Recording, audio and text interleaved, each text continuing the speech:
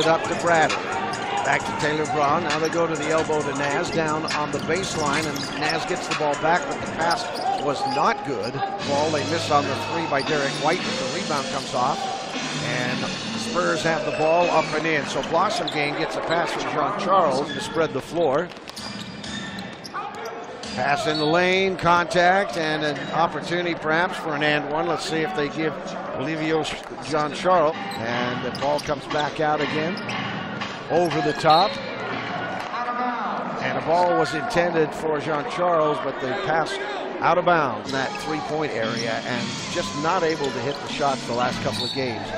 Contact and a basket by Jean Charles. Will he get the continuation? Probably should. Didn't put it on the floor. Fuse Austin. Livio Jean Charles, former first round draft choice of San Antonio. Extending the court, making it a little bit wider in the corner so that way guys don't get called for turnovers when they're stepping out of bounds. They don't realize it. Jean Charles, nice finish. 1% beyond the arc, 6 of 19. Horns are 7 of 19 just about 37%. Little backdoor to Ledbetter. Nicely done.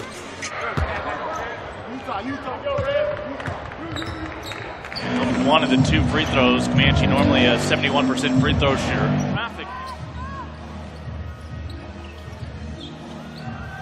John Charles. Oh! How about the moves from the big man? The white uniforms tonight could be signed by any team in the NBA.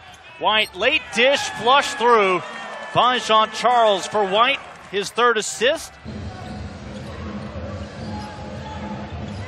10 to shoot for Memphis. Great touch pass inside, access denied.